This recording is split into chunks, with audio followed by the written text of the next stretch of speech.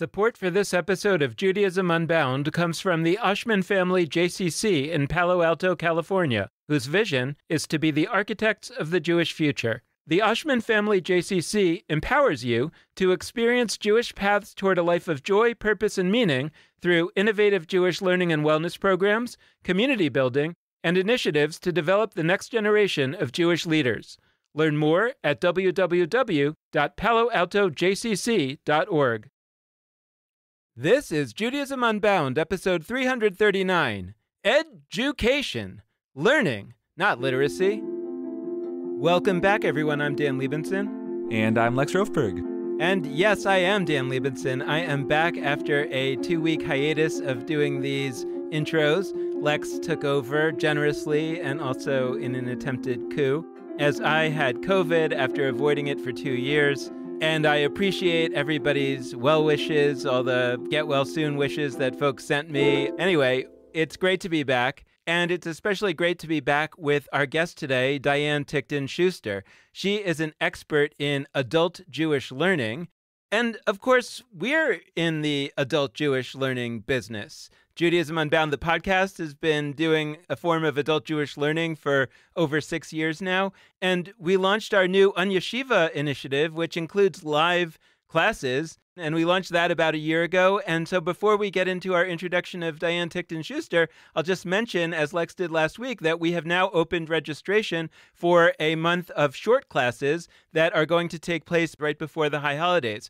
As always, they feature some of our favorite guests like Jill Hammer, Joy Ladin, Chava de Cordova, Binya Koatz, Jay Michaelson, who will be our guest next week, and me. Lex is actually sitting out this month, but he'll be back teaching after the high holidays.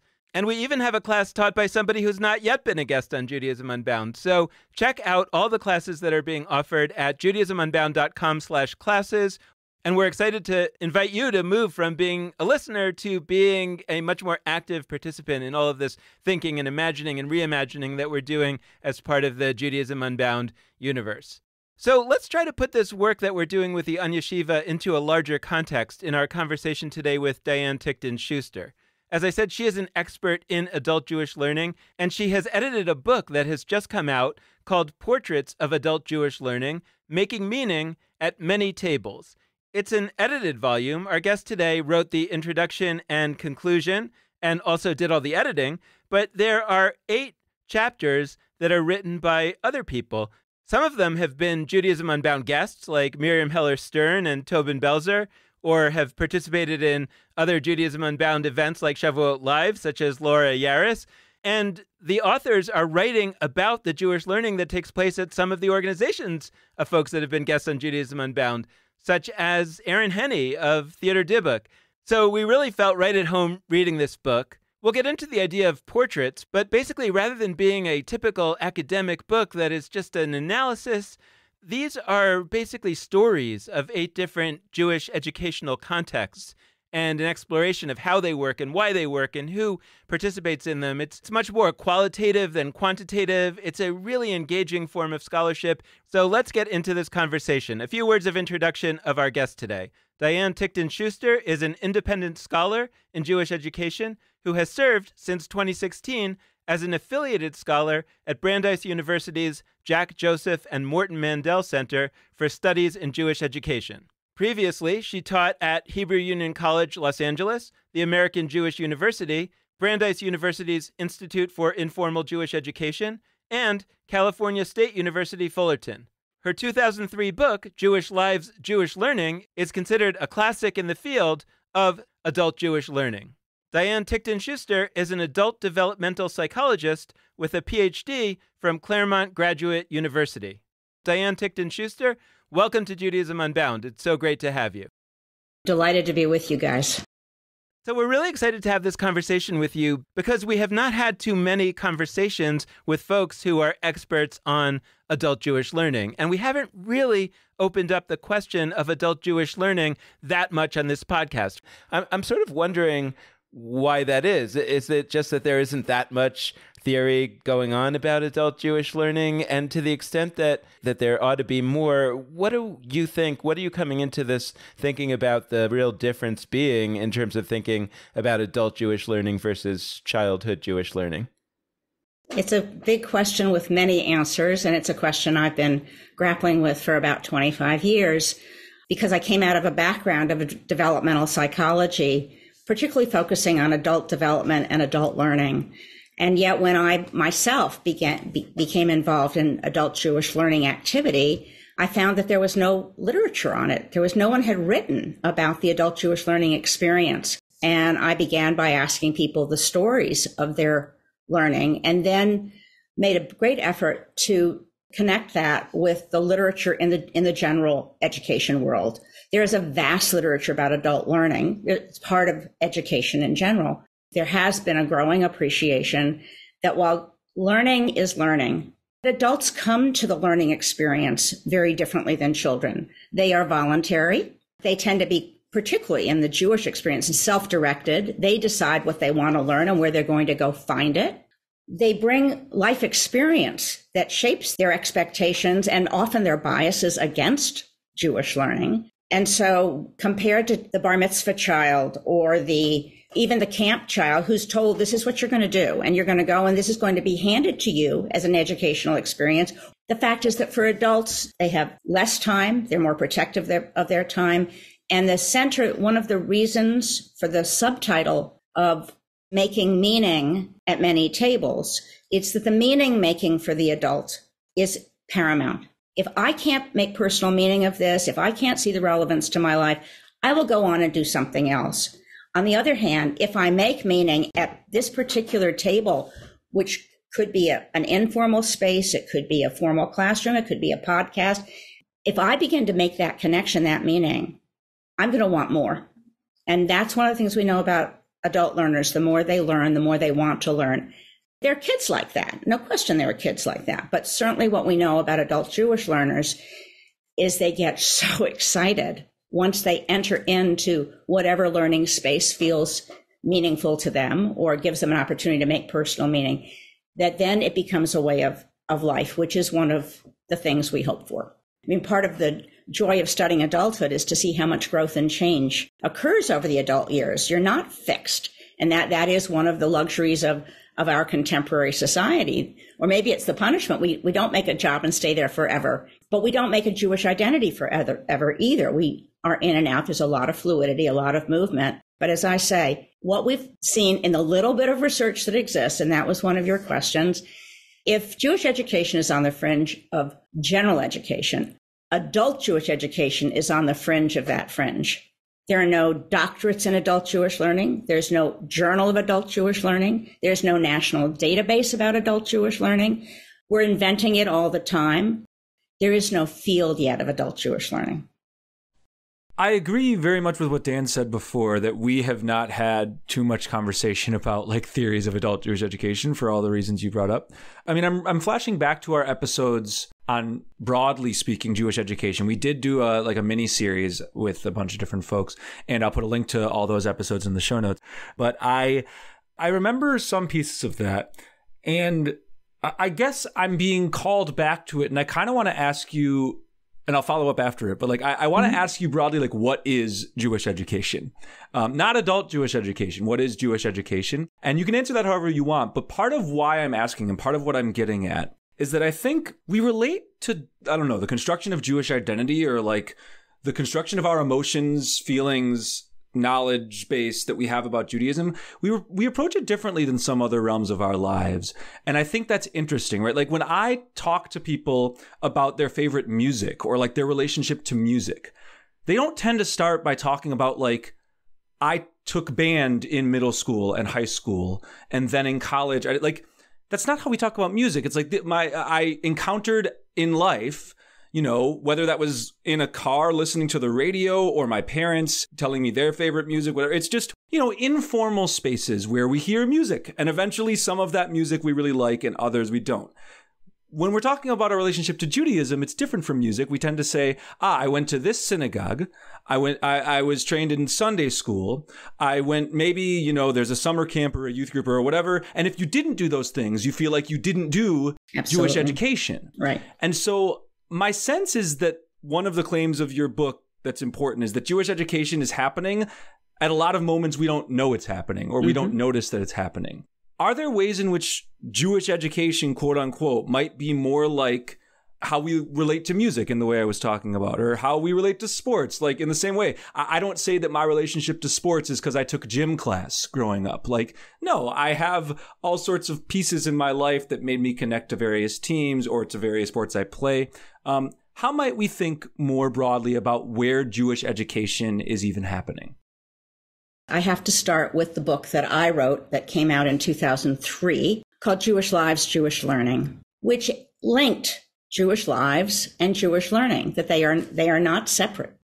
But the starting point with that book was that I would ask in interviews, could you tell me about your life, your journey, if you see it as a journey, Jewishly? And people would stop. And first they would say, no one ever asked me that question before.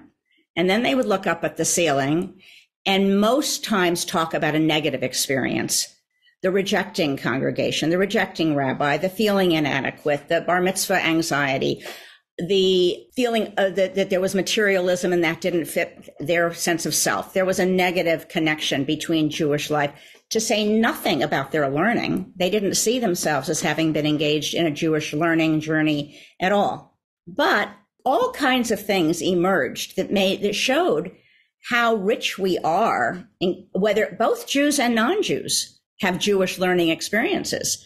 We learn we learn about being Jewish as a non-Jew. We learn about being a non-Jew as a Jew. We are constantly in in dialogue with what it what is Judaism, what is Jewish experience, what is Jewish life. Then you get into Israel, Yiddish, Holocaust, Klal Yisrael, ritual, what is Jewish learning? It's all of those and more and more and more.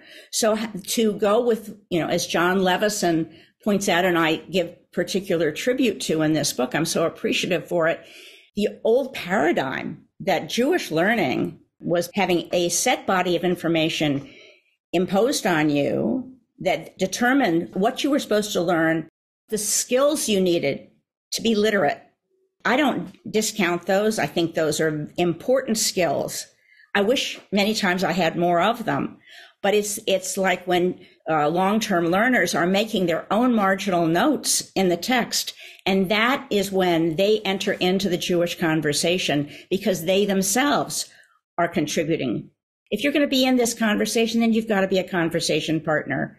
So Jewish learning to Jewish education is helping people to embrace the wholeness of the Jewish experience and make personal meaning of it, whether you're a child or an adult, and to recognize the many, many layers, Jewish history, the sociology, the anthropology, the, the mysticism of Judaism, all of that is Jewish learning.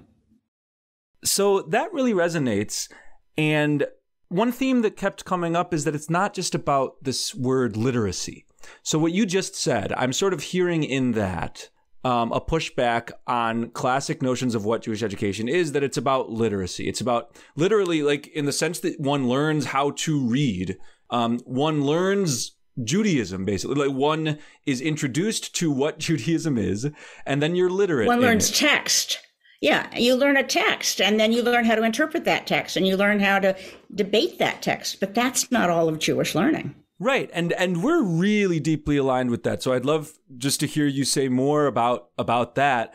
But I I do feel called to just sort of bring it back into that theme from before about uh, part of the problem is that we're limiting where Judaism happens, right? If Judaism is about being able to function in a synagogue, like being able to know what's happening, being able to follow the words of the prayers in Hebrew or maybe even in English or other language, being able to know what the artwork on the wall is referring to, what the books on the shelf uh, are referring to, how to navigate those books on the shelf, what the different ritual items in the gift shop mean and how you would uh, deploy them at different times of year. Like, I kind of think that's how a lot of people are operating with like what it is to become an engaged Jew or like sort of a success story of Jewish education. A success story in many people's minds is somebody who can use all those objects in the way that our ancestors have used them and who can say the words that our ancestors have said, et cetera, et cetera. And I sense in you a pushback on that. And from my perspective, it relates to a need to get beyond the space of the synagogue. Because if Judaism is not something you do in one particular sort of synagogue space, then all of a sudden mobilizing it is a much broader question and what it would mean to be you know quote unquote literate in it would be a much broader story so i guess i'm all that's to say like say more about the spaces of judaism maybe some of the specific spaces that come up in your book and how we might be pushed to conceptualize jewish education beyond classrooms and synagogues I think that the starting point for the discussion of spaces has to be a very generational one we know that synagogues are losing membership, closing. They're often not relevant to the younger population. And I'm the, the mother of a synagogue rabbi, so I certainly am committed to synagogue synagogue life and thriving. But there are limitations in those spaces. And what is that? That where, where those spaces don't speak to people at certain state times of their lives. I'm thinking about a book many years ago that warned synagogues and churches that churches and synagogues had better wake up because 12 step programs and other spiritually centered activities were going to attract people when they didn't have to pay for a membership. And we've seen a lot of that. So that the space is how can I be me and bring myself as a Jew and my questions and be with people who honor this gets to the issue of who are the educators who honors my questions rather than making making me feel diminished for what I don't know. To have facilitators, educators, leaders, people who are a little bit ahead of me. That's one of the big learning theory things. Uh, you don't need to have an expert, but just someone who's had a little more experience than you becomes a role model and validates your experience. That's why some of the peer led or slightly advanced peers make a very big difference but I think that the availability to do Jewish in a museum, to do it in a social justice program, to do it in a leadership development program, or in an agency, a Jewish work setting that has non Jews and serves non Jewish clients, which is what Josh Layden's chapter in the book is about the Jewish Family and Child Services Agency in San Francisco. That's Jewish education right there to bring people into a Jewish conversation without saying heavy handedly, well, we're a Jewish place, so you have to do it this way. It's that we ask these questions and we are guided by core values. It's this living of Judaism and recognizing that Judaism doesn't have all the answers or doesn't have an answer. And that I think is part of the appeal, certainly to the convert population who come in from dogmatic traditions where there's only an answer. And um, are excited by the opportunity for discourse and debate and that you don't have to commit to a set belief system. That's very important to adult learners and particularly to people who are coming in with their own uncertainties and insecurities. So I'd love to do a little bit of just sort of I don't want to say small picture. Your book is very big picture, but I'd love to just get into like What's your book? What's this book? Yeah, it's good. Um, we'll put links in the show notes, all that good stuff. Okay, but the book, you are the the kind of bookends. You're you're the oh bookends of the book. I didn't even do that right. on purpose. Um, you there's a foreword, I guess, but you're the intro and the conclusion, and then there's a bunch of essays in the middle. And I'm kind of curious, I guess, to do a little bit of this chronologically, like your intro makes some cool claims and it also it starts with a picture and the word portrait is in your title. So i'd love to start with just like what was the beginning impetus for this book? What did you put in that intro and why did you land on this i don't want to say metaphor it's actually i think kind of literal of but this language of portraits? So, six years ago, Jon Levisohn, the director of the Jack Joseph and Morton Mandel Center for Studies in Jewish Education at Brandeis University, called me and said he had some recent doctoral students who'd written dissertations that they'd like to get published, but they were in all academic lingo. And could I help these two recent doctorates write their stories in more user friendly language? So I said to Jon, yes, I could help these two uh, authors write their stories as portraits. He used the language portraits, but really portraits in that sense meant something that showed the learning experience. That's not the scientific side. It's how do we look at this picture and what do we see in this picture? And I would go so far as to say it's the difference between a snapshot and footage. In the footage, we see the trajectory. Portraits we think of as fixed, but in fact, one of the reasons in this book that the portrait I use at the back of the book is outside the frame is the person's legs over the edge of the frame is that we need to see the motion. Sorry, just to really make that clear because people uh, first off we'll put the images in the show notes, but just Please. you start the you start the book off with this image of a very classical notion of like all guys studying Right. Torah and then Right. and that's like their your kickoff portrait in the sense of a literal like painting. And then at the end, you have this painting that's actually not just a painting, it's a painting and also like a sculpture because there's a person sort of sitting on the edge of the frame and extending their way outward from the actual two dimensions of the painting and into the three dimensions of our space. And it's no accident that the artist for the later portrait or picture was is Banksy, who's a British renegade, you know, who's outside every frame, and we don't even know who for sure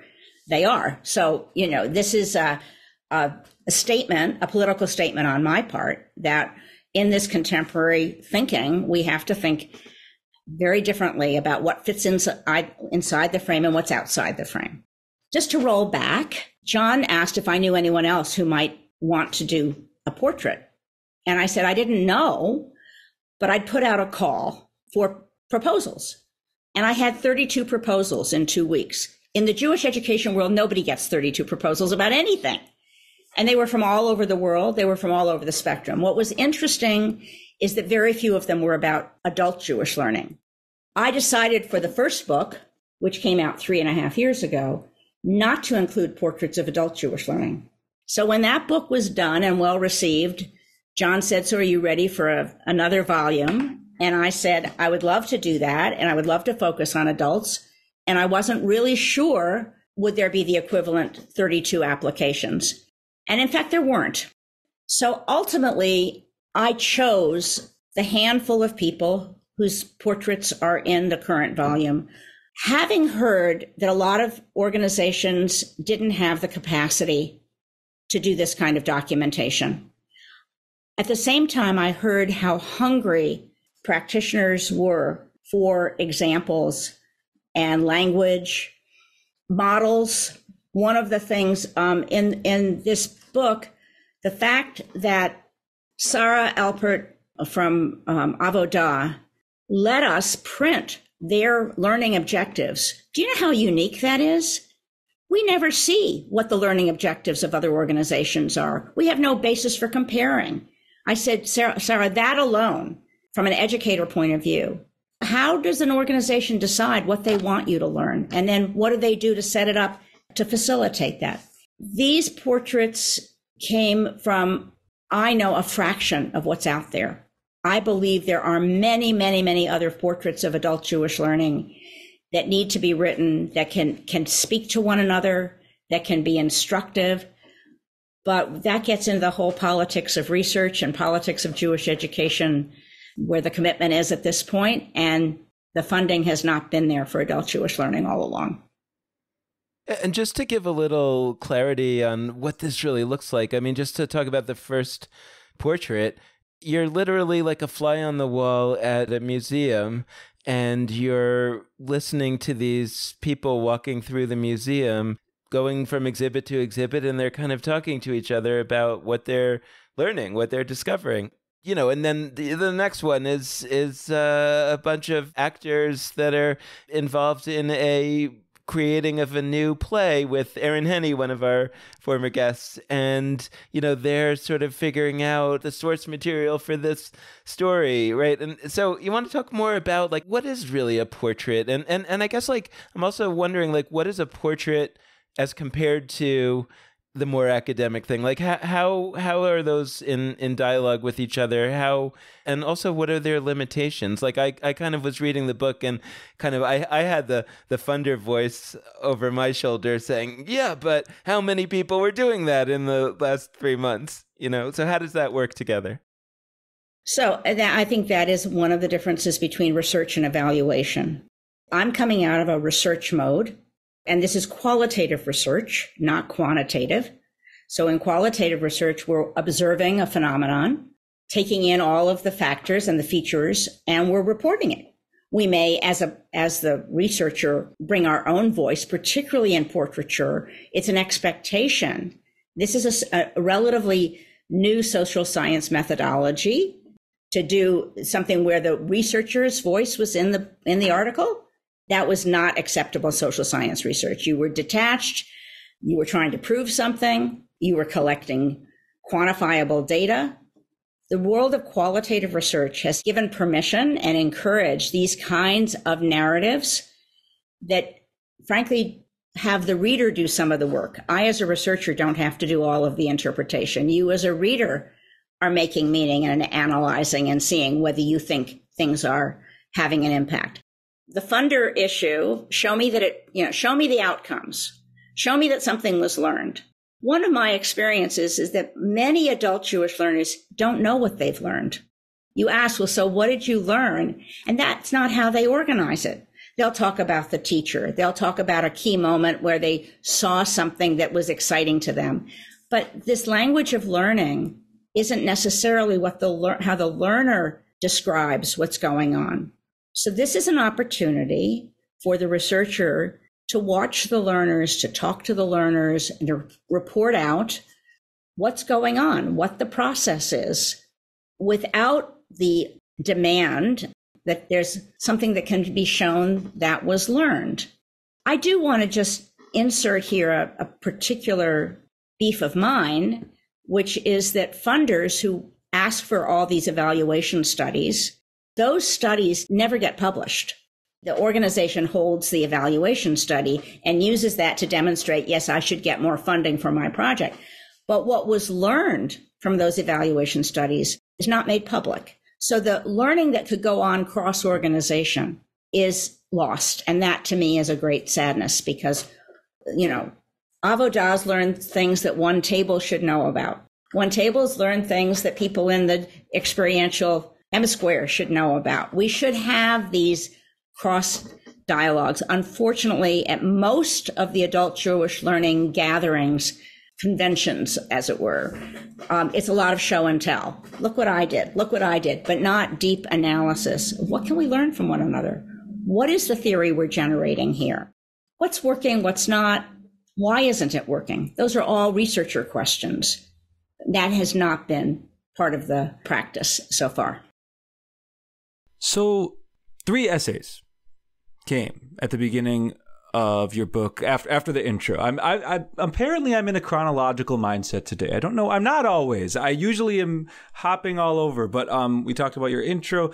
There, there's a few essays that come next, and as the reader, I had this funny experience where I was waiting for something, and I'll explain what I mean. The first essay was an essay about the experience of four people, not more than four, just literally four guests at a museum. Two couples. And, you know, this fly on the wall situation where you're hearing their little commentary to each other, which pieces of the exhibit they're resonating with, etc. And I was kind of waiting for the big hot take about what this reflects about the universe, not the universe, I'm hyperbolizing, but like about other spaces. And there wasn't so much. And I was like, oh, that's okay. That's the, the first essay.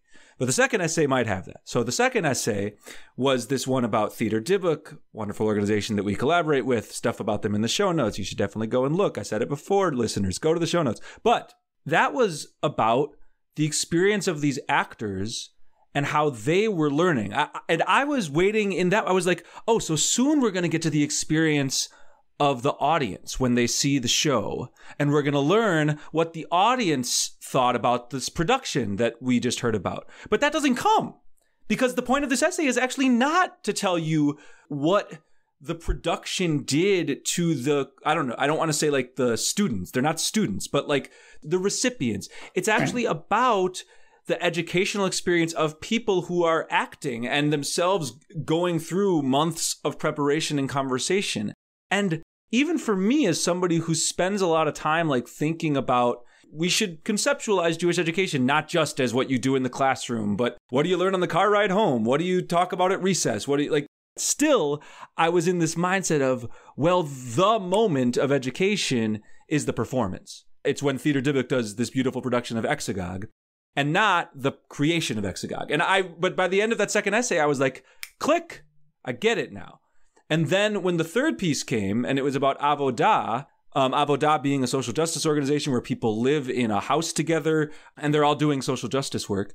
And I was no longer waiting for the part of the essay that would talk about how they then educate their different constituencies in the institutions they work for through Avodah. I was like, oh, no, the point of this is to talk about how people learn in places they don't realize necessarily they're learning. So that's three specific situations this museum portrait, this theatrical portrait, and this, I don't know, Justice House portrait.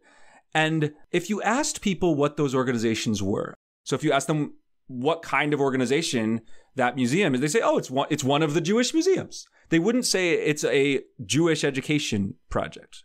Theater Dybbuk, I don't think people primarily think of them as education, although they do consciously blur art and education. People think of them as, you know, Jewish art, Jewish theater. And with Avodah, people think of them as, you know, Jewish justice more than education. But how might these portraits help us to rethink those lines we draw between, you know, art on the one hand, education on the other, museum on the one hand, education on the other?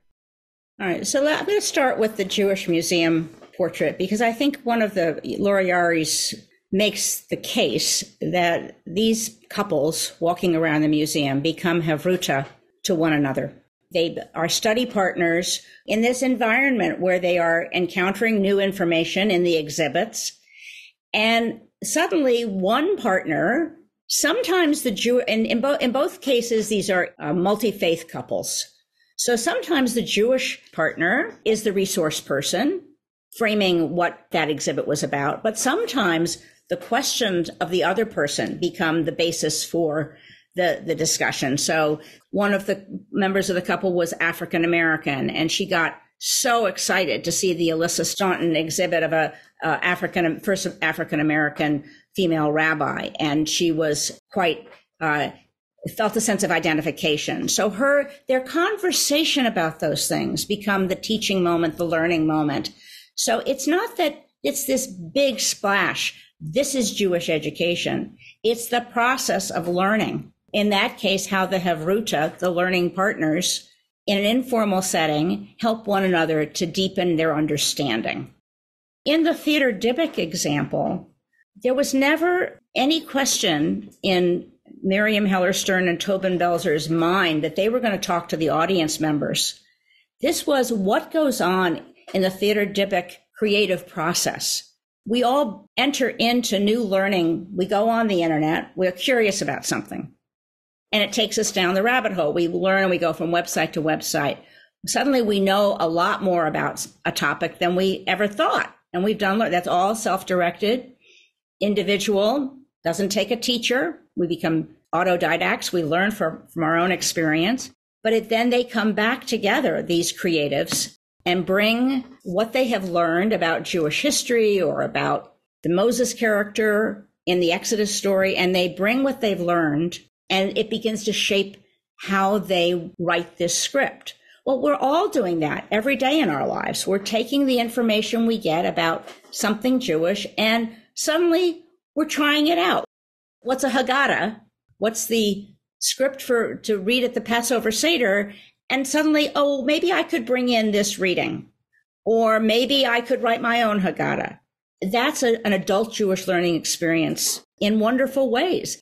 And I think that's what the, the Theater Dybbuk creative experience is tapping in to the creativity of the, of the actors and the production staff, thinking, how can we tell this story, ancient story, and tell it in a way that has personal meaning and today and relevance?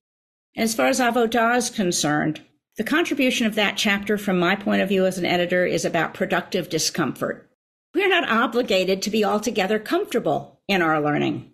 Emerging adults, these young Avodahniks, what, what they're doing as young adults, many of whom are, have been rather disaffected from Judaism, but they're in a, they've elected to be in a Jewish house, in a Jewish program, learning some basic Jewish things. And then they go into their, the community for service and it's not so easy. And they have to come to terms with who am I? What do I stand for?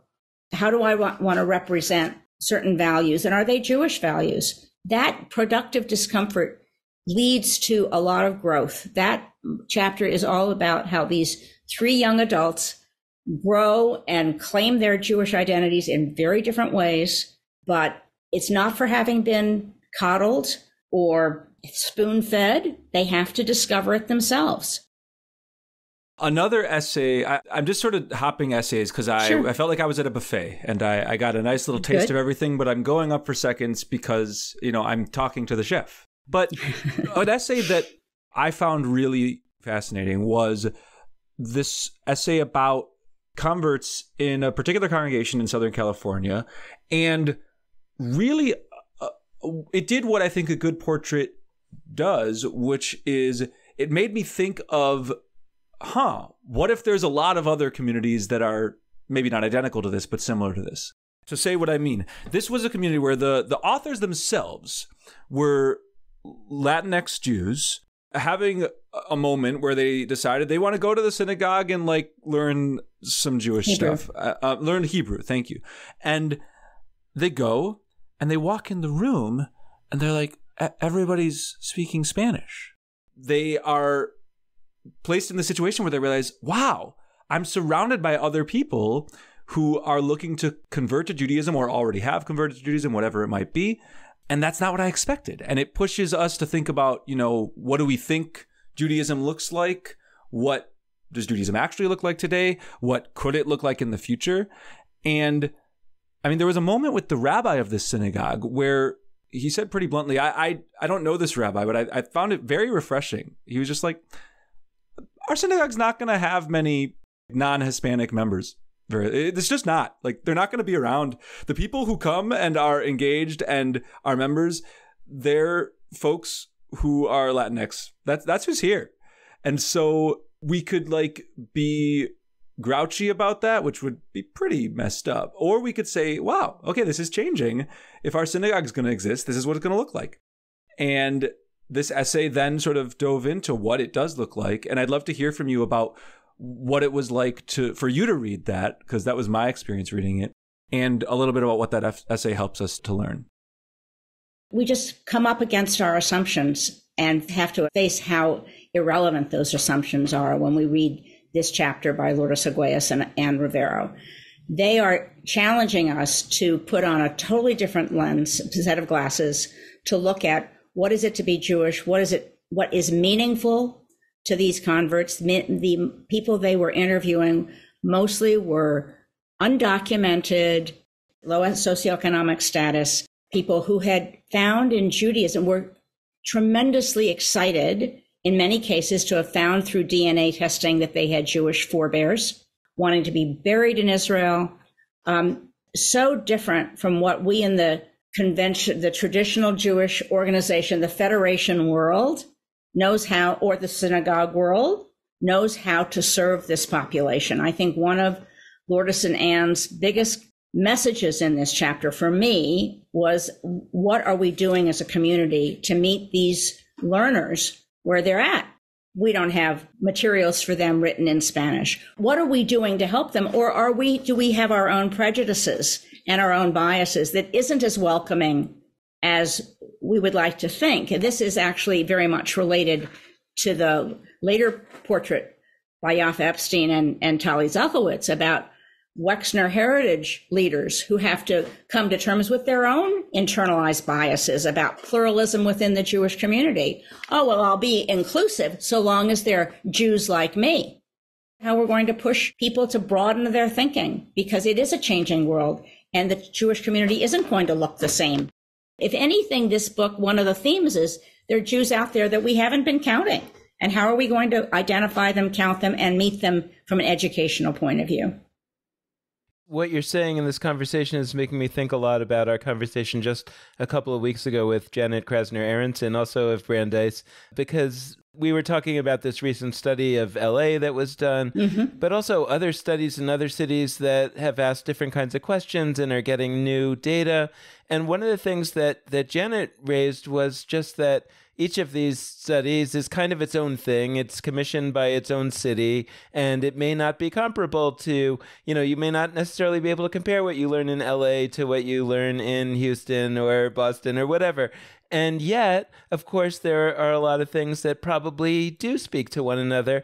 And there's also this question about well who's doing that bridging work you know who whose job is it to take all of these studies in all these different cities which are a little different and kind of try to try to tell us what we're seeing in common here. And uh, you know I I submitted that I thought it was an academic's job and Janet said yeah show me the money. You know somebody needs to fund that research. I'm wondering whether it's the same here. As you're describing these different portraits, and then you know you talked about how there could be so many other portraits that are out there that just you know haven't surfaced yet how do we move it from the realm of a scattershot sense that oh yeah we're definitely not doing things right. There's definitely a lot of things that we're not realizing to some kind of policy making or you know and, by that i don't mean that some somebody's going to come down and make policy but i mean like that the people that are going to have an impact on this, whether that means schools of education or rabbinical schools or funders or podcasts or whoever is going to try to change the world in light of a book like this. What are the next steps as you see them? So I'd like to hope that that the sociologists will continue to give some, some ways to look across studies and look look across patterns. But I think the other the thought leaders need to be required to sit and discuss these things with each other. A line that I am teased about sometimes, but being my favorite line about look for the people who live inside the same questions that you do. Some of us are living inside these questions, and yet where are our conversations? And that's really my message at the end of the book. Doesn't have to be with a lot of money, but there has to be a commitment to how seriously can we talk about all these studies learning from the young people who are creating new new models you're creating these conversations too. How do we keep that's what keeps us going and alive is part that's one of the takeaways that community matters. Context matters. Um, a young adult jew in brooklyn is having a different contextual experience community experience than a jew at the university of wisconsin or the jew in miami context really does make a difference, but learn from the experience of, a certain context. Um, the other thing is there's a lot of vulnerability among adult Jewish learners. So many people don't feel they have enough to go on across the board.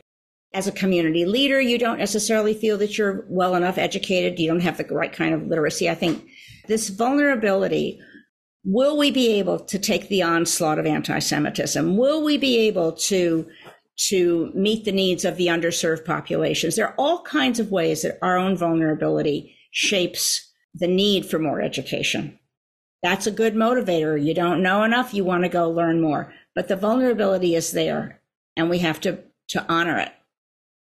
Well, on the subject of vulnerability, I, I was thinking as you were talking about finishing the book during this period what are your thoughts about digital Jewish learning and, and where you know, is that just? I, I, I jokingly said to you that should be your next book, and you said thanks a lot. You know, but I am curious whether there should be uh, some some new kind of thinking there, and what that would be. And and when you were talking about the Latinx converts, for example, you know, that got me thinking about our early conversation with Juan Mejia, who's a rabbi who's been doing Spanish language YouTube videos for exactly not exactly this population, but people in Central America who also believe that you know they have or find that they have Jewish ancestry, and and this whole thing, and and I was just blown away by the idea that wow, may, what if the future of Judaism, you know, what if the the vast majority of the growth of Judaism would actually come from populations that are not currently Jewish.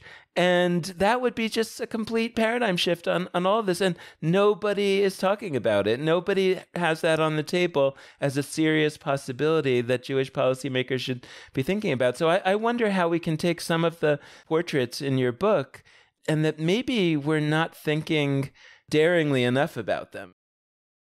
The possibilities for learning because of the digital age are just daunting and exciting and overwhelming. And learning is very much linked to I want something different from what I know now. It may be that I want to become better at my work, or it may be that I want to see other people, or maybe I just love learning the lishma, or it may be that I have a spiritual need and through learning I get that fed. But those motivations tap into the, or link in to me that this question that you're asking, Dan. To, I believe there is a motivation to learn. I think Jewish adults around the world, around the globe, are hungry for more, a better, more informed, more challenging, more dynamic Judaism. And what we've seen during COVID is people are, are showing up online. They're showing up for these learning experiences and they're sticking with it and they're moving on to other things. And one could say, well, after COVID, people won't keep coming. I don't think that's the case. I think we've tapped into a way of interacting with information. I really appreciated before when Lex said, you know, uh, listeners, tell us how you would label that. That's an invitation for the conversation. It isn't us labeling it you know, the reader, the, the, the listener in this case, is also it's making both. meaning. They're, hopefully, the listeners will be your readers, and the readers will be Read, well, yeah, my readers, but also Judaism Unbound's podcast listeners are also creating the future here and determining what learning should look like and whether people need a retreat, whether people need a travel program, whether people need a reading list, whether people need a study partner. I mean, all of these things are happening and are happening because of the digital possibilities. It's a both and. I think we can benefit tremendously from the technology and from the, the resources of a, of a digital world. We've got to have relationships that can help one another to celebrate, mourn, spaces that also mark time together. So, a short and sweet question that I'm really excited about. Your book is portraits of adult Jewish learning and it profiles a wide variety of really cool projects. If our listeners of Judaism Unbound were to take on the effort of crafting their own portrait of Jewish learning, about their experience over the years or over the weeks, however long it's been, of listening to Judaism Unbound, what kinds of questions might they ask themselves? What might they reflect on? So just that as a closing note. And uh, that's not hypothetical, listeners. We would love to hear those from you. As a researcher, you're asking people to document their own experience, jot down notes about those episodes, either that they recall or starting now. What are the moments listening to these podcasts that just zing for you? So I think that we all become documenters of our own key moments for some people, it's a, a visual. For some people, it's a parable or a story. Um, for some people, it's a list. What did someone on the podcast say as your teacher? And then I would also document how your learning from Judaism Unbound led you to other inquiry. You either signed on for the UnYeshiva class or a course, or you, you went to a meditation retreat, or you went to a Jewish museum or whatever it was that you heard about that sparked you to do something else along your Jewish learning journey. For the listener, being mindful of what did the learning look like and what made a difference. Thank you so much, Diane Tickton Schuster, for joining us. This has been a fantastic conversation. I loved it. Thank you so much as well. And thanks so much to all of you out there for listening. Before we close things out fully, we're really, really interested in portraits of Judaism Unbound's adult Jewish learning from all of you out there that are saying, in a similar way to what these portraits in Diane Tickton Schuster's book do, what happens to you when you are listening to this podcast and afterwards? So if you're down to take a few minutes now to just pause this podcast, open up an email that you address to Dan at JudaismUnbound.com and Lex at JudaismUnbound.com and reflect on what are some of those key moments in the podcast's history or recent past for you? Are there particular pivot points where some guest of ours has said something that's had an impact on you, where you have felt called to go to some Jewish experience that you might not have otherwise. All of those things are really important to us and they help us understand what we actually do. I mean, we are only one side of the story. You're just as important on the other side. So send your portrait of Judaism Unbound learning to us via email. And just like with this exercise, we also appreciate hearing from you generally, whether that's a portrait of learning or just saying, Hi, how's it going? Um, you can do that by going to Facebook, Instagram, Twitter. Our handles are at Judaism Unbound. You can head to our website, judaismunbound.com. And once again, you can email us at dan at judaismunbound.com or lex at judaismunbound.com. One important note right now that Dan mentioned at the top is that we've got our Unyeshiva courses for the fall, our mini courses that are launching. We've got more courses coming up, but the mini courses are already available to sign up. You can do so at judaismunbound.com slash classes. Check out our amazing mini courses. We're going to be featuring some of the folks that are teaching them in the coming weeks. We really, really are excited about these. Sign up, head to our website to do so. So thank you so much for listening. And with that, this has been Judaism Unbound.